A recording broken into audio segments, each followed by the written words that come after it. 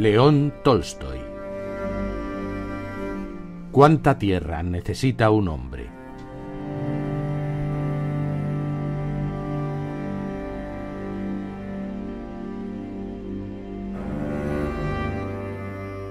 Érase una vez un campesino llamado Pahom, que había trabajado dura y honestamente para su familia, pero que no tenía tierras propias, así que siempre permanecía en la pobreza.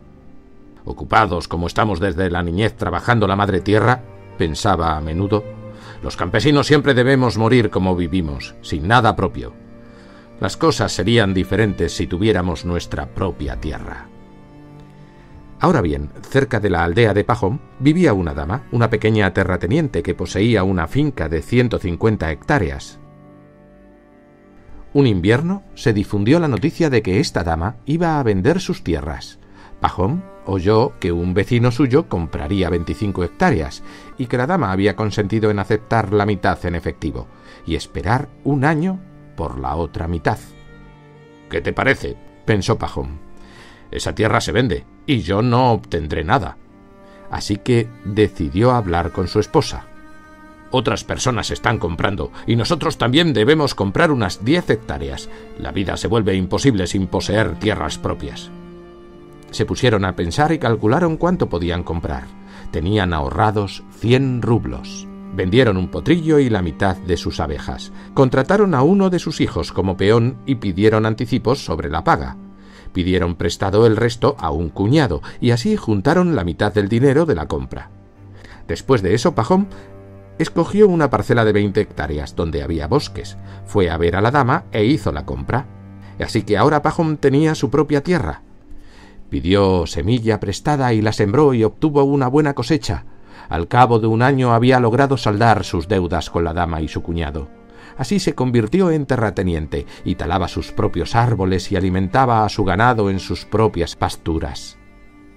Cuando salía a arar los campos o a mirar sus mieses o sus prados, el corazón se le llenaba de alegría. La hierba que crecía allí y las flores que florecían allí le parecían diferentes de las otras partes.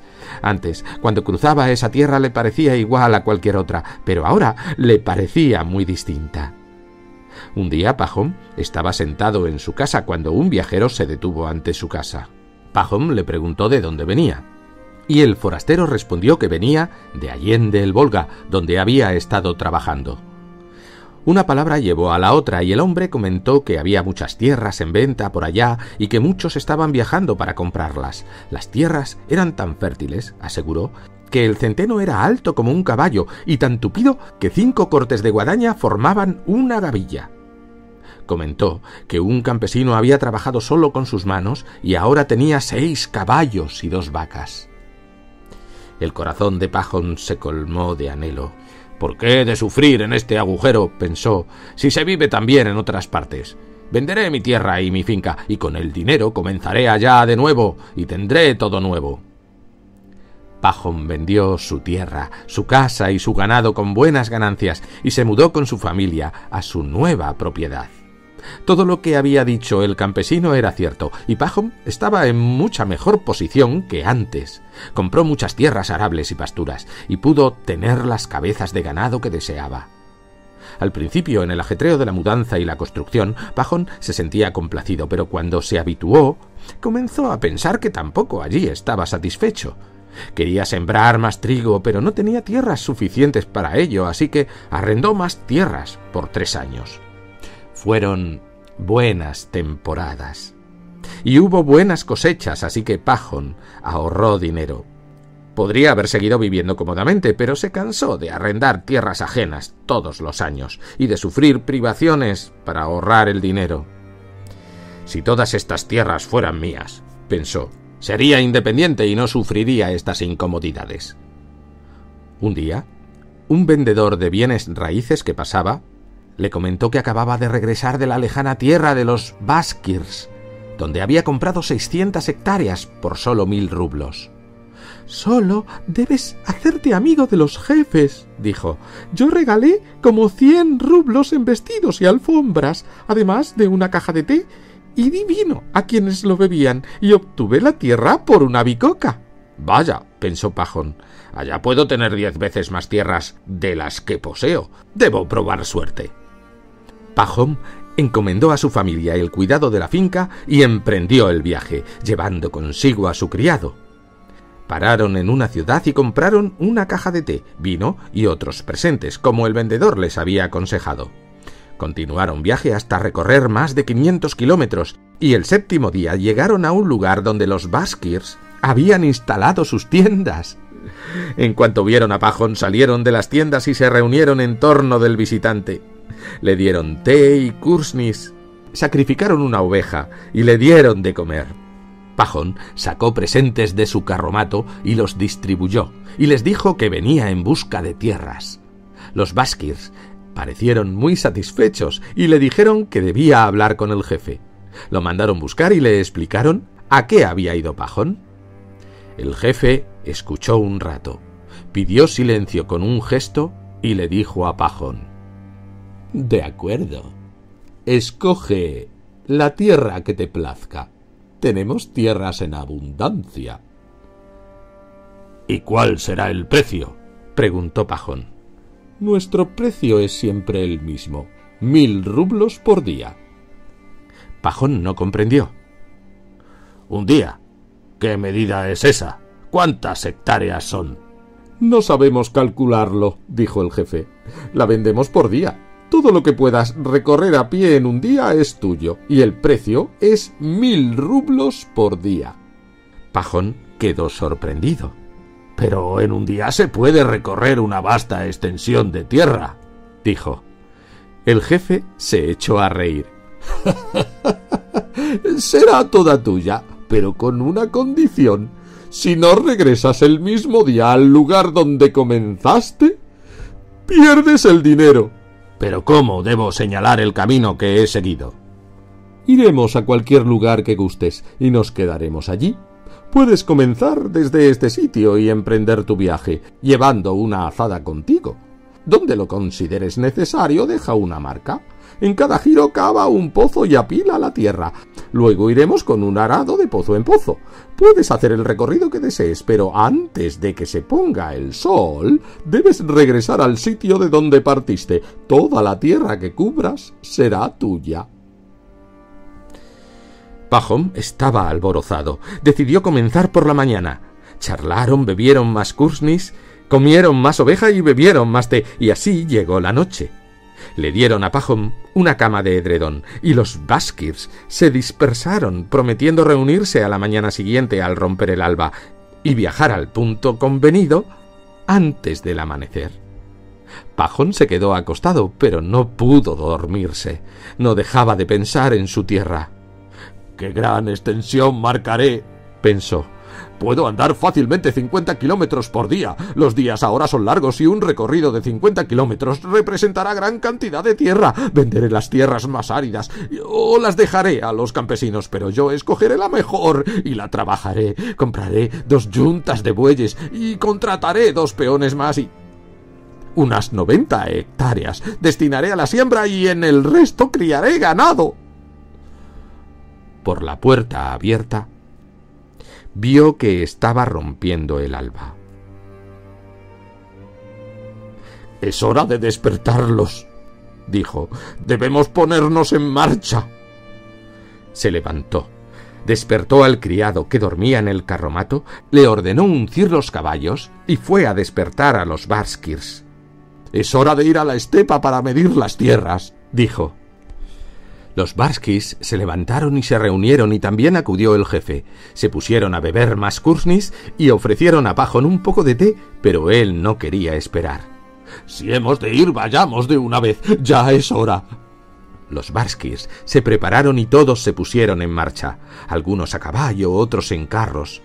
Pajón iba en su carromato con el criado y llevaba una azada. Cuando llegaron a la estepa, el cielo de la mañana estaba rojo, Subieron una loma y apeándose de carros y caballos, se reunieron en un sitio. El jefe se acercó a Pajón y extendió el brazo hacia la planicie. Todo esto, hasta donde llega la mirada, es nuestro. Puedes tomar lo que gustes. A Pajón le relucieron los ojos, pues era toda tierra virgen, chata como la palma de la mano y negra como semilla de amapola, y en las hondonadas crecían altos pastizales. El jefe se quitó su gorra de piel de zorro, la apoyó en el suelo y dijo Esta será la marca. Empieza aquí y regresa aquí. Toda la tierra que rodees será tuya. Pajón sacó el dinero y lo puso en la gorra. Luego se quitó el abrigo, quedándose con su chaquetón sin mangas. Se aflojó el cinturón y lo sujetó con fuerza bajo el vientre. Se puso un costal de pan en el pecho del jubón y atando una botella de agua al cinturón, se subió la caña de las botas, empuñó la azada y se dispuso a partir. Tardó un instante en decidir el rumbo. Todas las direcciones eran tentadoras. No importa, dijo al fin, iré hacia el sol naciente se volvió hacia el este, se desperezó y aguardó a que el sol asomara en el horizonte. No debo perder el tiempo, pensó, pues es más fácil caminar mientras todavía esté fresco. Los rayos del sol no acababan de chispear sobre el horizonte cuando Pajón, azada al hombro, se internó en la estepa.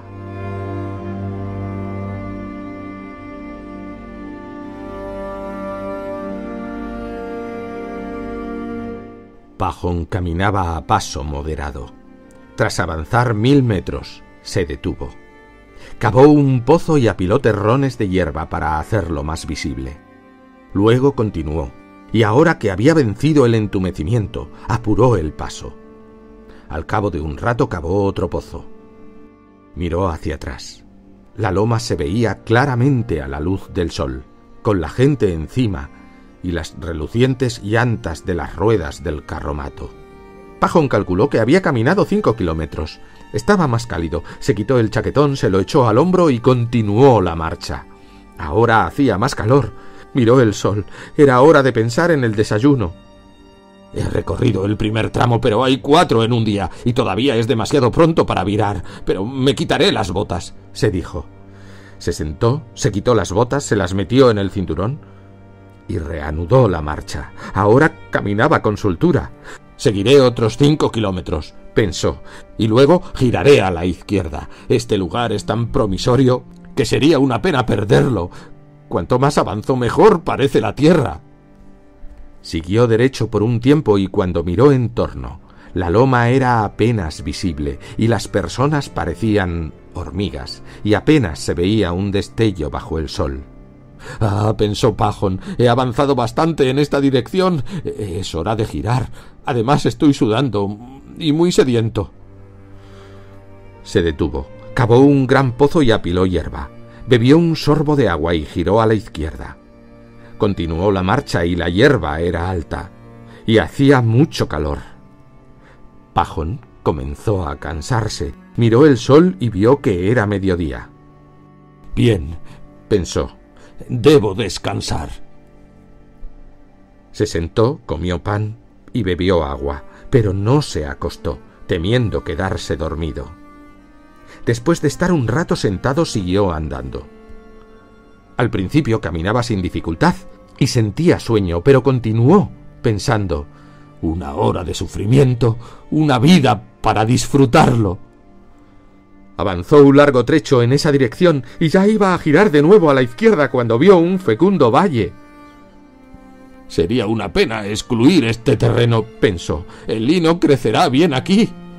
Así que rodeó el valle y cavó un pozo del otro lado antes de girar. Pajón miró hacia la loma. El aire estaba brumoso y trémulo con el calor, y a través de la bruma apenas se veía a la gente de la loma. Ah, pensó Pajón, los lados son demasiado largos, este debe ser más corto. Y siguió a lo largo del tercer lado, apurando el paso. Miró el sol. Estaba a mitad de camino del horizonte y Pajón aún no había recorrido tres kilómetros del tercer lado del cuadrado. Aún estaba a quince kilómetros de su meta. No, pensó, aunque mis tierras queden irregulares, ahora debo volver en línea recta podría alejarme demasiado y, y, ya tengo eh, cantidad de tierra.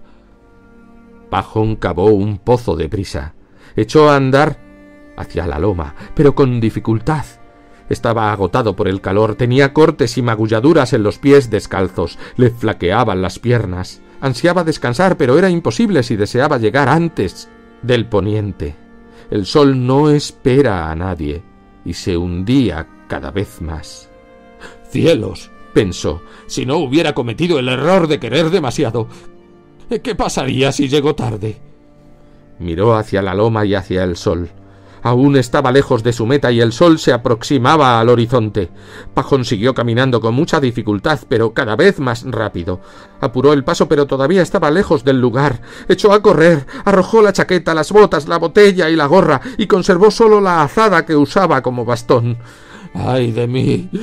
He deseado mucho y lo eché todo a perder. Tengo que llegar antes de que se ponga el sol. El temor le quitaba el aliento. Pajón siguió corriendo y la camisa y los pantalones empapados se le pegaban a la piel y tenía la boca reseca. Su pecho jadeaba como un fuelle, su corazón batía como un martillo, sus piernas cedían como si no le pertenecieran. Pajón estaba abrumado por el terror de morir de agotamiento. Aunque temía la muerte, no podía detenerse. Después que he recorrido tanto, me considerarán un tonto si me detengo ahora pensó, y siguió corriendo, y al acercarse oyó que los Baskirs gritaban y aullaban, y esos gritos le inflamaron aún más el corazón. Juntó sus últimas fuerzas y siguió corriendo. El hinchado y brumoso sol casi rozaba el horizonte, rojo como la sangre. Estaba muy bajo, pero Pajón estaba muy cerca de su meta. Podía ver a la gente de la loma agitando los brazos para que se diera prisa. Veía la gorra de piel de zorro en el suelo y el dinero y al jefe sentado en el suelo riendo a carcajadas. Hay tierras en abundancia, pensó, pero me dejará Dios vivir en ellas. He perdido la vida, he perdido la vida. Nunca llegaré a ese lugar. Pajón miró al sol, que ya desaparecía. Ya era devorado. Con el resto de sus fuerzas apuró el paso encorvando el cuerpo de tal modo que sus piernas apenas podían sostenerlo. Cuando llegó a la loma, de pronto oscureció. Miró el cielo el sol se había puesto. Pajón dio un alarido. Todo mi esfuerzo ha sido en vano, pensó, y ya iba a detenerse. Pero oyó que los Barskirs aún gritaban y recordó que aunque para él desde abajo parecía que el sol se había puesto, desde la loma aún podían verlo. Aspiró una buena bocanada de aire y corrió cuesta arriba. Allí había una luz. Llegó a la cima y vio la gorra. Delante de ella el jefe se reía a carcajadas. Pajón soltó un grito. Se le aflojaron las piernas. Cayó de bruces y tomó la gorra con las manos. Vaya, qué sujeto tan admirable exclamó el jefe. Ha ganado muchas tierras. El criado de Pajón se acercó corriendo y trató de levantarlo, pero vio que le salía sangre de la boca. Pajón estaba muerto. Los Parskis chasquearon la lengua para demostrar su piedad. Su criado empuñó la azada y cavó una tumba para Pajón, y allí lo sepultó. Dos metros, de la cabeza a los pies. Era todo lo que necesitaba.